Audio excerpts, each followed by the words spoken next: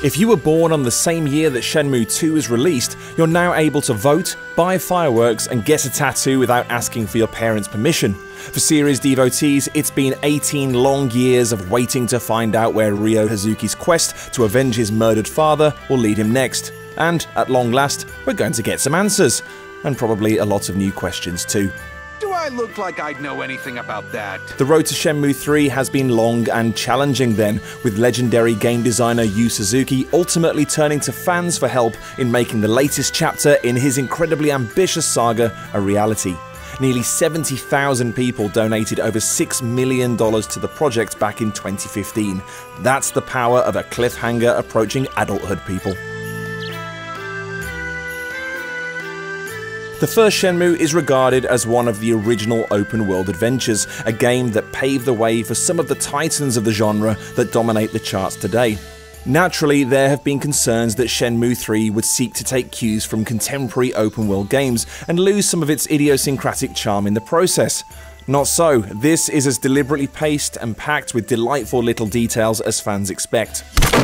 As Ryo takes his first steps through the rural Chinese village of Bailu, it's immediately apparent that this is a game that wants you to take your time and soak up the atmosphere. And after an 18 year wait, it seems rude not to. Yu Suzuki and his talented team haven't lost a beat when it comes to creating worlds that feel authentic, organic, and lived in. On the outskirts of Bailu, a gentle babbling stream flows through rolling fields teeming with flowers, trees, and rocky outcrops. The village itself is perfectly imperfect. Signs are cracked and worn with age. The corrugated iron rooftops are weathered, scratched, and dented. Vegetable patches are abundant with crops, and street stalls are packed with enticing foods and intriguing curios. There's an admirable level of craft on display here that warrants poring over every square inch.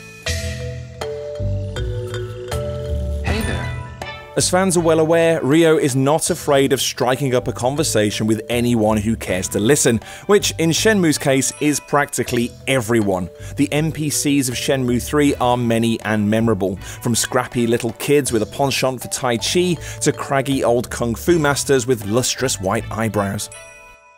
Unlike the environments, the character art style veers away from photorealism and steers closer to caricature, allowing for a welcome diversity of faces and body types.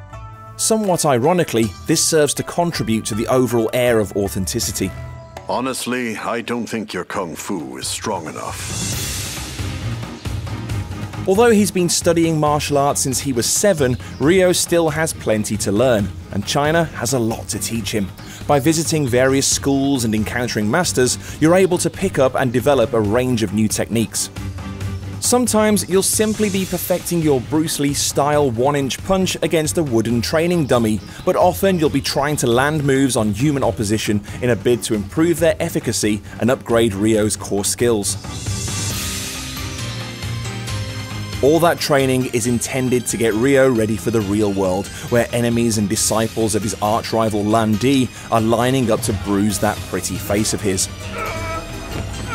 Shenmue 3's combat is rebuilt from the ground up, but the influence from Yu Suzuki's previous work is still evident, and not necessarily limited to his experience in fighting games. In a sly nod to the racing franchise that first drew Suzuki to the world's attention, players can choose between automatic transmission and manual transmission. The former automates combo strings for the benefit of players who are more concerned with enjoying the story, while manual leaves everything in your hands.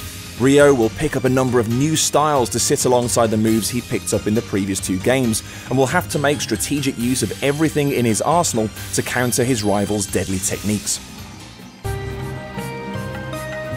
And finally, Shenmue 3 couldn't call itself a Shenmue game if it wasn't filled with engrossing minigames and compelling diversions, all designed to distract Ryo from his grand quest. This it knows all too well, as within minutes of entering Bailu, Ryo will happen upon his first capsule toy machines, a true Shenmue signature.